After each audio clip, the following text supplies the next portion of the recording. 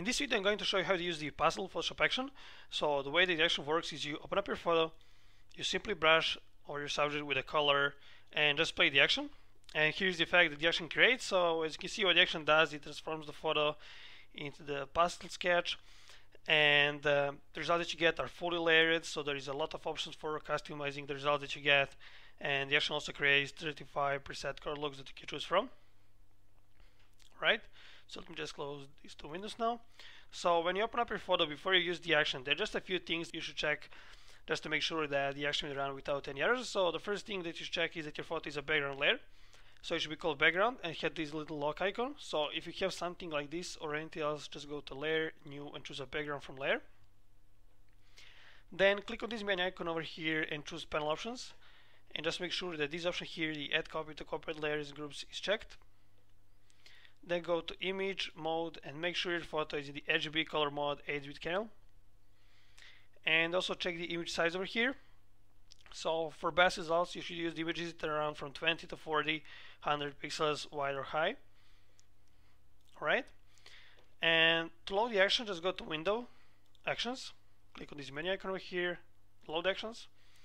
And now just choose the action from a folder according to your Photoshop version. You can just double click on the action file and they actually appear here in your uh, actions panel. And to load the brush you can just hit B on your keyboard to select the brush tool. Right click anywhere inside the canvas. Click on the gear icon over here load brushes and again just choose the uh, brushes file uh, according from folder according to your Photoshop version. So you can just double click on the brush file and you will uh, load this brush in your uh, brushes panel.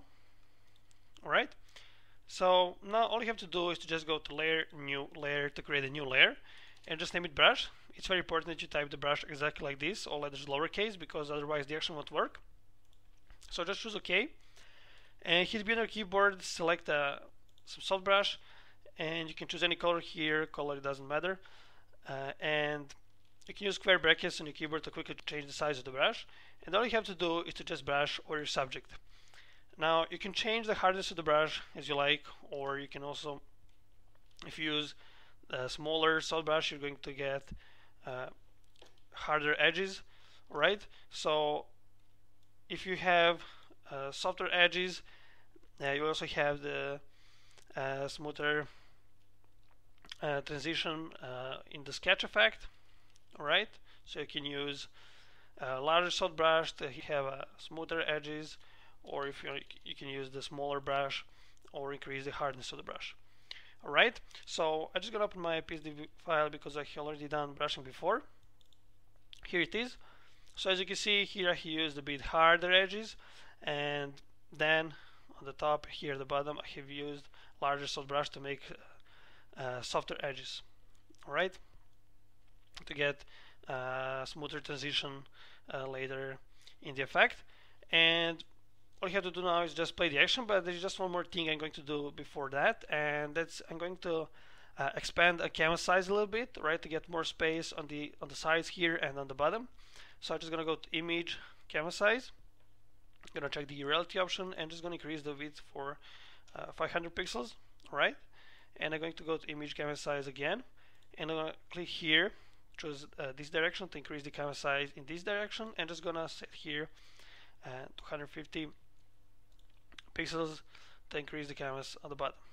Alright so that's it. All you have to do now is just select the action click play. So I'm going to fasten the video here and I'm going to get back as soon as the action is finished and I'm going to go throughout all the layers to show you how each layer works how it affects the design and how can you customize it. Right so the action has just finished so just going to close the actions panel for now and I'm going to expand a little bit this layers panel so the first thing that you probably want to do each time you run the action is to just quickly close down all these folders. So how can you quickly do that is to just hold control and Alt buttons for PC or command option for Mac. And while this folder is selected. Just click on this little arrow here. And on that way we're going to close down all the folders. So I'm going to start customizing the effect from the bottom. But before that I'm just going to hide this layer over here. And I'm going to explain later why. Alright, so the first layer that we got here is the background color layer so what you can do is you can double click on this color box and you can choose any color that you like. Alright? And what I'm going to do is just gonna choose this one here. Alright, so it's a little bit uh, darker shade of the previous one. And um, the next layer we got here is the photo outlines right? So if you just turn this layer off and down you can see the difference. So it's going to create outlines of the whole photo not just the area that you brushed but the whole photo. Alright so now I got these frame here because I have expanded the canvas. And what you can do is just select this layer mask. You can hit B on your keyboard to select the brush tool pick a soft brush set foreground color to black and you can just simply brush over these edges if you wish to remove them just like this. Alright and what you can also do is you can change the opacity of this layer here. So what you need to do is just click on the word opacity and drag it aside or you can change the opacity by moving this slider over here. Alright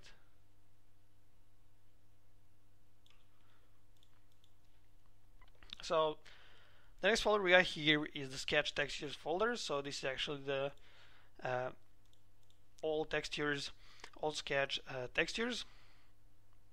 And uh, uh, they're layered as you can see. So what you can do is you can just play with the opacities of each of these layers so to give different results. Right? And uh, what you can also do is if you wish to remove some texture on some area can just repeat the same method we did for the photo outlines layer so select the layer mask pick a brush tool set foreground color to black and simply brush wherever you wish to remove that specific layer. Alright? So the next layer that we got here is the subject details layer. Right so as you can see it's going to reveal uh, details of your subject.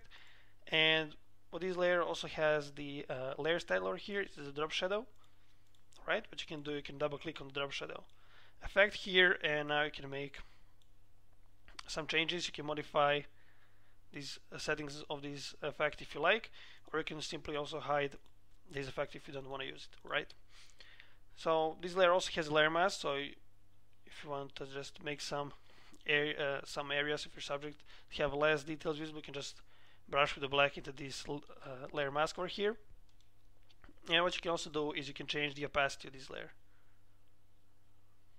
Alright. And here we got the subject details brightness. So this layer is just going to make uh, brightness adjustment uh, to this layer. And what you can do is you can double click here and you can change the settings over here. So you got the, the slider here that is boosting the shadows. This one is boosting the highlights and this one here is fading the shadows. This one here is fading the uh, highlights and this one is for the midtones right so you can play with these settings here if you like. I usually keep this one uh, default. And the next folder we got here is the subject edges. So when you open the folder you'll find two layers here the black and white edges. So what you can do is you can just play with these opacities over here.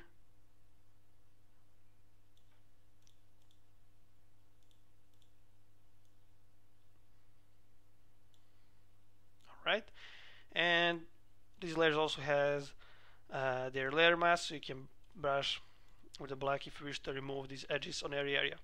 Or you can also brush into this main layer mask and then you're going to remove both black and white edges over the area where you brush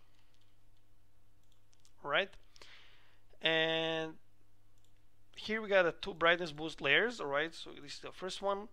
And this one as you can see is boosting the highlights uh, is boosting the brightness only of the subject. Alright and what you can do is double click here and make any changes here if you like. Alright and this layer here is going to just boost the uh, overall brightness of the whole design. Alright so you can also modify the settings here of this layer. What you usually do is just change the opacity.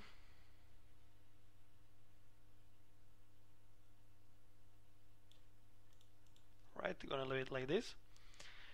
And here we got the sketch textures contrast. So as you can see this uh, layer is going to add the contrast uh, only the sketch textures right uh, it's not it doesn't affect the subject area but the background and the sketch textures. And how you change the contrast is you just change the opacity. Right and here we got the reveal original photo layer. It says here brush white it mask.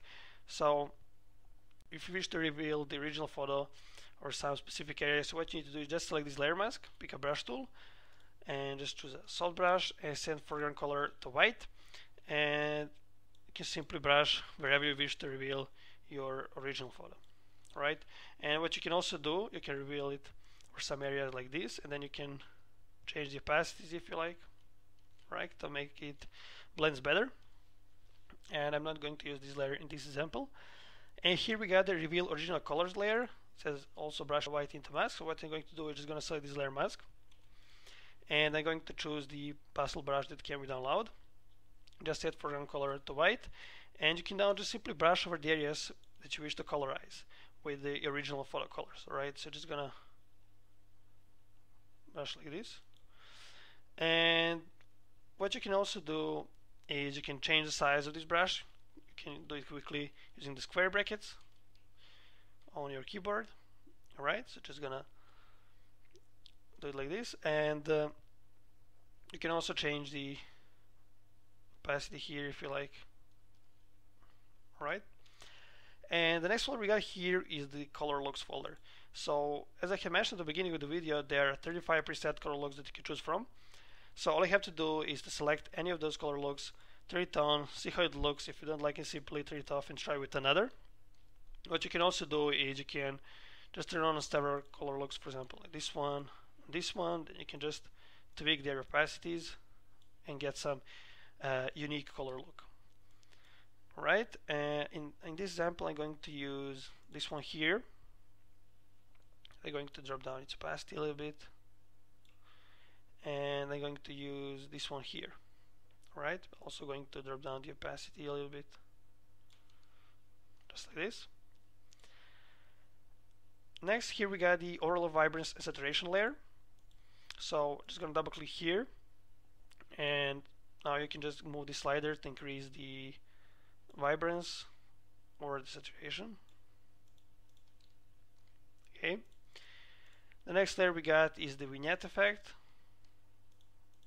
So what you can do is you can change the opacity of this layer. You can turn it off if you don't want to use the vignette effect. I'm just to leave it default. Alright and here we got the overall sharpening layer. So the reason why I have hidden this layer at the beginning of the video is because this layer is giving the sharpening to the design uh, because if I move just as I will see all these edges right that are the edges of the design and if you make any changes to the design like remove some textures or just hide some layers and other you need to update these lines uh, as well right? So the, the only way to do it is to just remove this layer and create again because as you can see here we got these frames that I removed. Now it's visible because of these layers so it needs to be updated. So what you can do is just delete this layer and then press Ctrl Alt Shift and D or Command Option Shift and D on your keyboard to make a screenshot and then just press Ctrl Shift U or Command Shift U to desaturate this layer go to filter other high pass just set the radius to 2 pixels and change the blending mode to hard light. Alright and now what you can do is you can just change the opacity to adjust the sharpening. And the last layer we got here is the brush layer. So this is the brush layer created on the beginning of the video.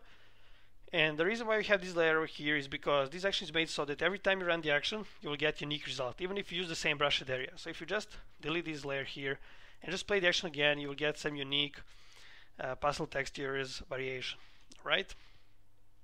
So let's just quickly check the before and after. So this is the before and this is the after effect. Alright so I hope you understood everything but if you still need any help or got any questions feel free to contact me anytime via my Envato profile page. Thanks for watching